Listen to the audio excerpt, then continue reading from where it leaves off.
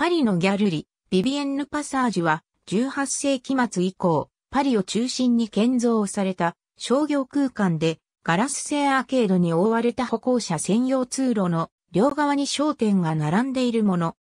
百貨店の発生以前に高級商店街として流星した。パサージュはフランス語で通貨や象形などを表す。カーンのパサージュ、1836年パサージュの起源はパレロワイヤルに遡るとされる。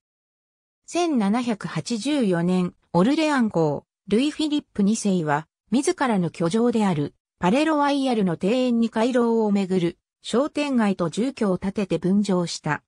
この商店街は大人気となり、2年後、さらに増築を行った。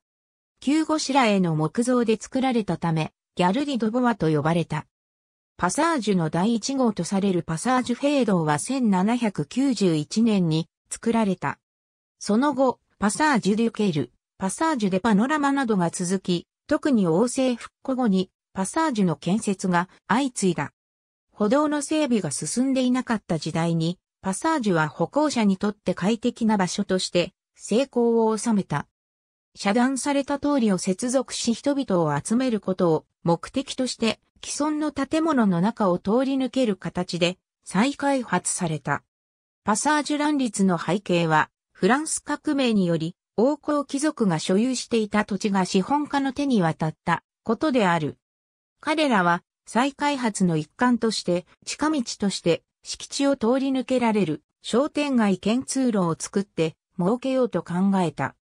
舗装されていない泥道の他の通りに対して、パサージュはタイル等で舗装され、大理石を用いた内装や壁画を凝らし、鉄骨とガラス製の天窓が設けられ雨雪に濡れる心配もないため、人々は溢れた。散歩する、ブラブラ歩くという楽しみの概念も、パサージュから市民に広まったと言われている。地下から温風が吹き出す暖房設備をつけたり、老人形館を作るなど、パサージュ館の客引きもあった。多い時には100を数えたパサージュだが、時代遅れのものとされ衰退していった。現在は十数箇所を残すのみとなっている。社会主義者、シャルル・フーリエは、パサージュを参考にして、ファランステールを設計した。ドイツ人文芸評論家のバルター・ベンヤミンの意向、パサージュ論が20世紀後半に刊行されたことを機に、広く紹介され、認知されるようになった。